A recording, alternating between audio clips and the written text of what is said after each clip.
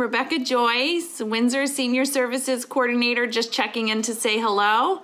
I hope um, this episode of Checking In Senior Edition finds you all doing well, getting a chance to enjoy the beautiful sunshine today, um, opening your windows for some fresh air, going out for a hike, um, whatever it is that you enjoy doing um, during this time to keep yourselves active and busy and engaged. I just hope that you're um, doing well. We certainly miss you at the Senior Center. Uh, we miss being able to put on all of the programs and activities that keep you busy day to day. Um, so, in the meantime, we are producing these episodes of Checking In Senior Edition and bringing topics into your home until we can do so again at the Senior Center. So we are still busy working from home. Um, we've had quite a lot of meetings via Zoom. Um, we are still receiving phone calls at the Senior Center. So if you'd like to reach out to us, we'd love to hear from you. Um, you can call us at 860 285 1992, or you can email us at our senior services email address, which is senior services at town of Windsor. I'll repeat that email is senior services at town of Windsor CT.com. Uh, so certainly reach out to us um, if you need assistance with food, groceries, um, anything that you may need. We are here to help you. So certainly give us a call if you if you would like to. We'd love to hear from you. So, for today's topic, I would like to um, discuss and present a TED talk on uh, music and um, I'd like to just go over some of the benefits that music could have on your overall health and well being. I know that um, when I'm not feeling well, if I'm feeling down, um, I just put on uh, some of my favorite music and it certainly changes my mood right away. Um, music can, imp- like I just said, improve mood. Um, studies show that listening to music can benefit overall well being, help regulate um, emotions, and create happiness and relaxation in everyday life. Um, it can reduce stress. Listening to relaxing music um, has been shown to reduce stress and anxiety in healthy people and in people undergoing medical procedures. So, a surgery, dental, colonoscopy. Uh, it lessens anxiety um, so, studies of people with cancer uh, listening to music combined with standard care reduced anxiety compared to those uh, who received standard care alone. Um, it improves exercise. So, a study suggests that music can enhance aerobic exercise, boost mental and physical stimulation, and increase overall performance. Um, it can improve memory, uh, it can ease pain, uh, provide comfort, and improve cognition. So there's a lot of benefits that um, listening to music can provide. Um, for today's um, topic, um, I would like to present um, an inspirational and heartwarming TED Talk um, entitled The Transformative Power of Classical Music by Mr. Benjamin Zander. It is a 20 minute TED Talk. Um, so I'm not going to um, talk on and on today. Um, it's a fun and inspirational talk by Mr. Zander, which includes his passion for classical music. Um, and he also helps us realize our untapped love for it. And by ex- by extension, our untapped love for all new possibilities, new experiences, and new connections.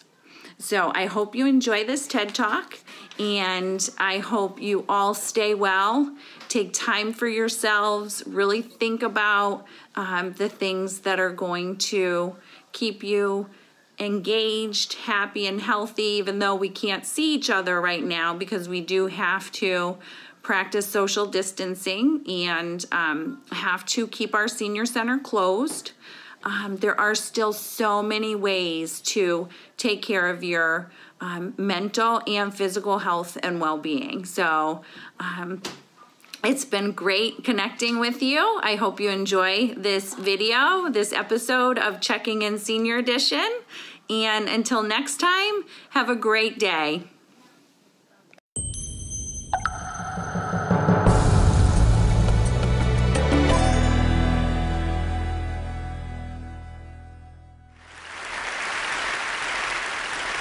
Probably a lot of you know the story of the two salesmen who went down to Africa in the 1900s. They were sent down to find if there was any opportunity for selling shoes. And they wrote telegrams back to Manchester. And one of them wrote, Situation hopeless, stop, they don't wear shoes. And the other one wrote, Glorious opportunity, they don't have any shoes yet. Now, there's a similar situation in the classical music world, because there are some people who think that classical music is dying. And there are some of us who think you ain't seen nothing yet. And rather than go into statistics and trends and tell you about all the orchestras that are closing and the record companies that are folding, I thought we should do an experiment tonight. An experiment. Actually, it's not really an experiment because I know the outcome but it's like an experiment. Now, before we, before we start, I need to do two things. One is I want to remind you of what a seven year old child sounds like when he plays the piano. Maybe you have this child at home. He sounds something like this.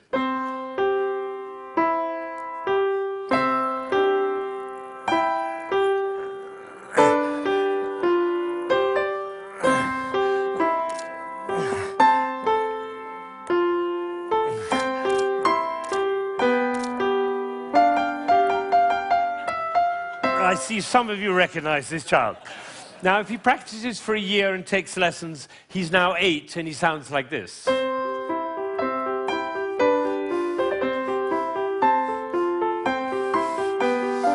And then he practices for another year and takes lessons. Now he's nine.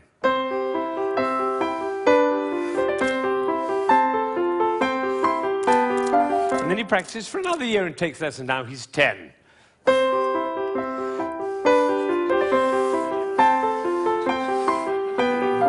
At that point, they usually give up. now, if you'd, waited, if you'd waited for one more year, you would have heard this.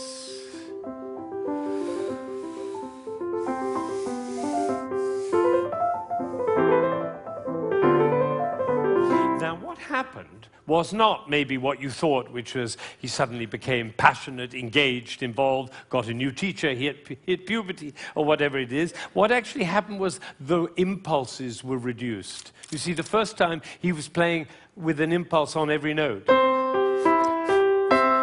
And the second, with an impulse every other note. You can see it by looking at my head. The th the nine-year-old, the nine-year-old put an impulse on every four notes, and the ten-year-old on every eight notes, and the eleven-year-old one impulse on the whole phrase. I, I don't know how I got into this position. I didn't say I'm going to move my shoulder over, move my body. No, the music pushed me over, which is why I call it one buttock playing can be the other button. You know, a gentleman was once watching uh, a presentation I was doing, and I was working with a young pianist. He was the president of a corporation in Ohio. And I was working with this young pianist, and I said, The trouble with you is you're a two buttock player. You should be a one buttock player. And I moved his body like that while he was playing. Suddenly, the music took off took flight. There was a gasp in the audience when they heard the difference. And then I got a letter from this gentleman. He said, I was so moved, I went back and I transformed my entire company into a one buttock company. Now, the other thing I want to do is to tell you about you.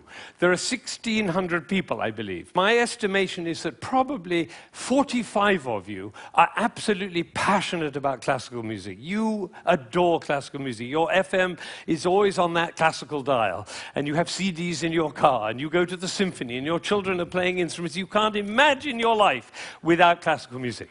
That's the first group. It's quite a small group. Then there's another group, bigger group. These are the people who don't mind classical music you know, you come home from a long day and you take a glass of wine and you put your feet up, a little Vivaldi in the background doesn't do any harm. Right? That's the second group. Now comes the third group. These are the people who never listen to classical music. It's just simply not part of your life. You might hear it like secondhand smoke at the airport, but and, and maybe a little bit of a march from Aida when you come into the hall, but otherwise you never hear it. That's probably the largest group of all. And then there's a very small group. These are the people who, who think they're tone deaf. Amazing number of people think they're tone deaf. Actually, I hear a lot, my husband is tone deaf. Actually, you cannot be tone deaf. Nobody is tone deaf. If you were tone deaf, you couldn't change the gears on your car in a stick shift car. You couldn't tell the difference between somebody from Texas and somebody from Rome. And the telephone, the telephone. If, some, if your mother calls on their miserable telephone, she calls and says hello. You not only know who it is, you know what mood she's in. Right? You have a fantastic ear. Everybody has a fantastic ear. So nobody is tone deaf. But I tell you what, it doesn't work for me to go on with this thing with such a wide gulf between those who understand, love, and passionate about classical music and those who have no relationship to it at all. The tone deaf people, they're no longer here. But even between those three categories, it's too wide a gulf. So I'm not going to go on until every single person in this room, downstairs and in Aspen, and everybody else looking, will come to love and understand classical music. So that's what we're going to do. Now, you notice that there is not the slightest doubt in my mind that this is going to work, if you look at my face, right? it's one of the characteristics of a leader that he not doubt for one moment the capacity of the people he's leading to realize whatever he's dreaming. Imagine if Martin Luther King had said, I have a dream. Of course, I'm not sure they'll be up to it. All right, so I'm going to take a piece of Chopin. This is a beautiful prelude by Chopin. Some of you will know it.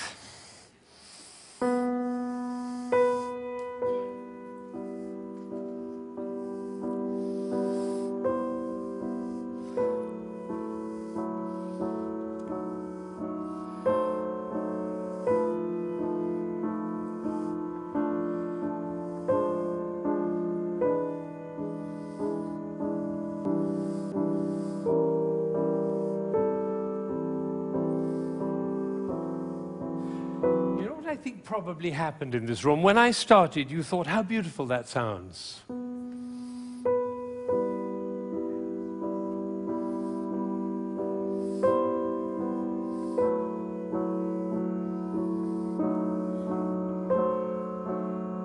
I don't think we should go to the same place for our summer holidays next year. it's funny, isn't it? It's funny how those thoughts kind of waft into your head when we're listening to classical music. And of course, and of course, if piece is long and you've had a long day, you might actually drift off. And then your companion will dig you in the ribs and say, Wake up, it's culture. And then you feel even worse. But has it ever occurred to you that the reason you feel sleepy in classical music is not because of you, but because of us? Did anybody think while I was playing, why is he using so many impulses? If I'd done this with my head, you certainly would have thought it.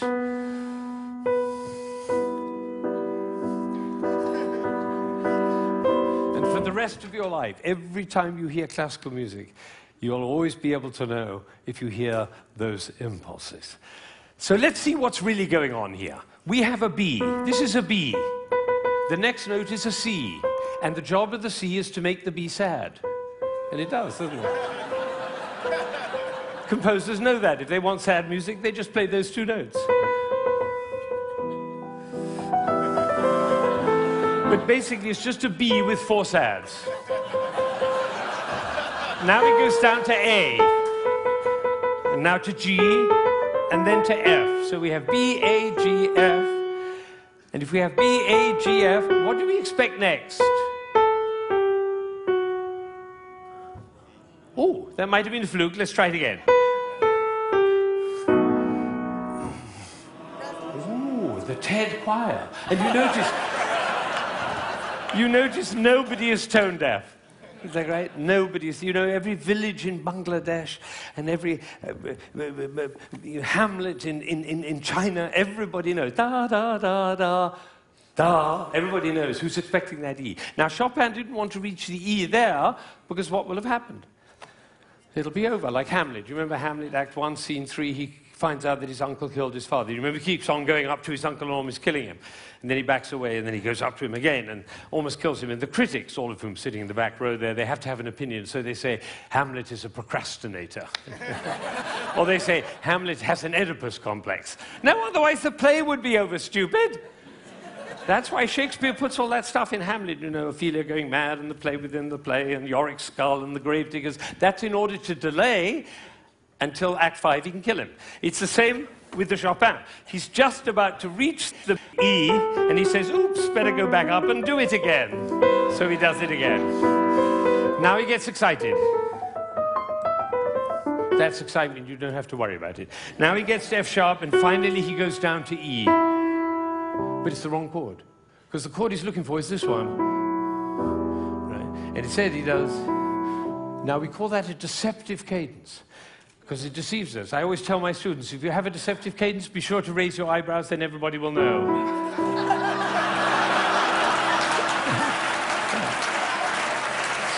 All right. So he gets to E, but it's the wrong chord. Now he tries E again. That chord doesn't work. Now he tries E again. That chord doesn't work. Now he tries, tries E again. That doesn't work. And then finally, there was a gentleman in the front row. He went, mm, like that. It's the same gesture he makes when he comes home after a long day, turns off the key in his car, and says, Ah, oh, I'm home. Because we all know where home is. So this is a piece which goes from away to home. And I'm going to play it all the way through, and you're going to follow. B, C, B, C, B, C, B, D, down to A, down to G, down to F, almost goes to E, but otherwise the play would be over. Goes back up to B, gets very excited, goes to F sharp, goes to E, it's the wrong chord, it's the wrong chord, it's the wrong chord, and finally goes to E, and it's home. And what you're going to see is one buttock playing. Because for me to join the B to the E, I have to stop thinking about every single note along the way and start thinking about the long, long line from B to E. Right? You know, we were just in South Africa, and uh, you can't go to South Africa without thinking of Mandela in jail for 27 years. What was he thinking about? Lunch? No, he was thinking about the vision for South Africa and for human beings.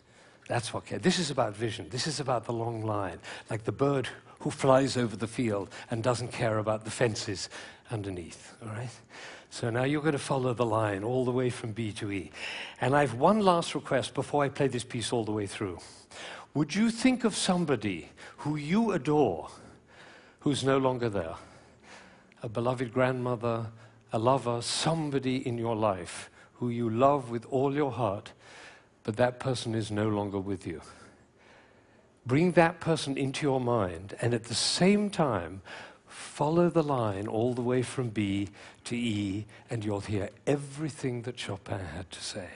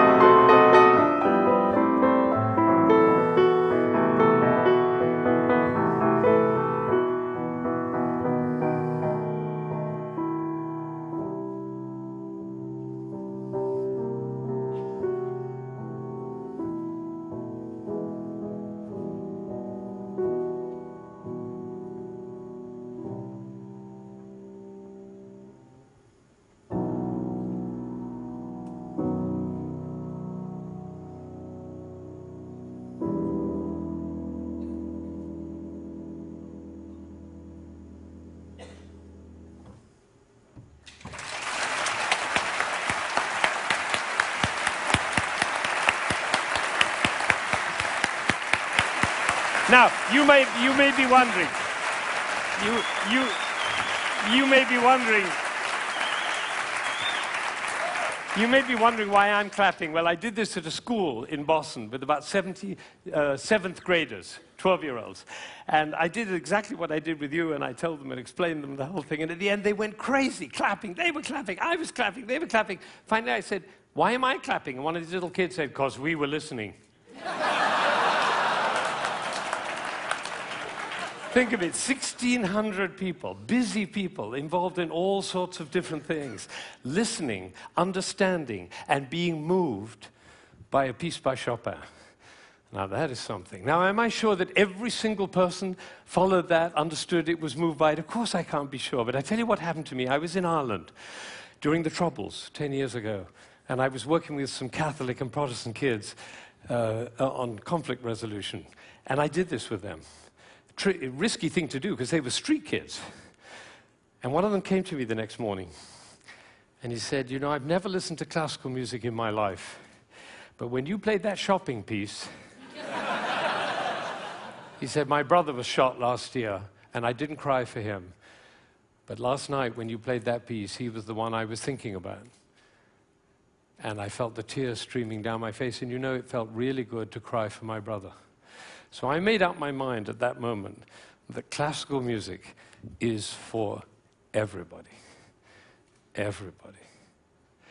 Now, how would you walk? Because you know my profession, the music profession, doesn't see it that way. They say 3% of the population likes classical music. If only we could move it to 4%, our problems would be over. I say, how would you walk? How would you talk? How would you be if you thought 3% of the population likes classical music? If only we could move it to 4%. How would you walk? How would you talk? How would you be if you thought everybody loves classical music? They just haven't found out about it yet. See, these are totally different worlds. Now, I had an amazing experience. I was 45 years old. I'd been conducting for 20 years, and I suddenly had a realization. The conductor of an orchestra doesn't make a sound my picture appears on the front of the CD. but the conductor doesn't make a sound. He depends for his power on his ability to make other people powerful. And that changed everything for me. It was totally life changing. People in my orchestra came up to me and said, Ben, what happened? That's what happened. I realized my job was to awaken possibility in other people. And of course, I wanted to know whether I was doing that. And you know how you find out? You look at their eyes. If their eyes are shining, you know you're doing it. You could light up a village with this guy's eyes. right. So if, you, if the eyes are shining, you know you're doing it. If the eyes are not shining, you get to ask a question. And this is the question Who am I being that my player's eyes are not shining? We can do that with our children too. Who am I being that my children's eyes are not shining? That's a totally different world. Now, we're all about to end this magical on the mountain week, and we're going back into the world. And I say it's appropriate for us to ask the question who are we being as we go back out into the world? And you know, I have a definition of success. For me, it's very simple. It's not about wealth and fame and power, it's about how many shining eyes I have around me. So now I have one last thought which is that it really makes a difference what we say, the words that come out of our mouth. I learned this from a woman who survived Auschwitz, one of the rare survivors. She went to Auschwitz when she was 15 years old, and um, her brother was eight, and the parents were lost. And um, she told me this. She said, We were in the train going to Auschwitz, and I looked down and I saw my brother's shoes were missing. And I said, Why are you so stupid? Can't you keep your things together? For goodness sake, the way an elder sister might speak to a younger brother. Unfortunately, it was the last thing she ever said to him because she never saw him again. He did not survive. And so when she came out of Auschwitz, she made a vow. She told me this. She said, I walked out of Auschwitz into life, and I made a vow and the vow was, I will never say anything that couldn't stand as the last thing I ever say. Now, can we do that? No, and we'll make ourselves wrong and others wrong. But it is a possibility to live into. Thank you.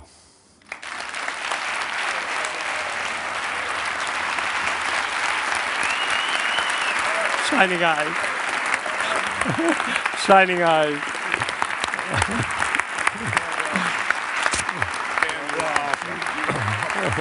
Thank you. Thank you.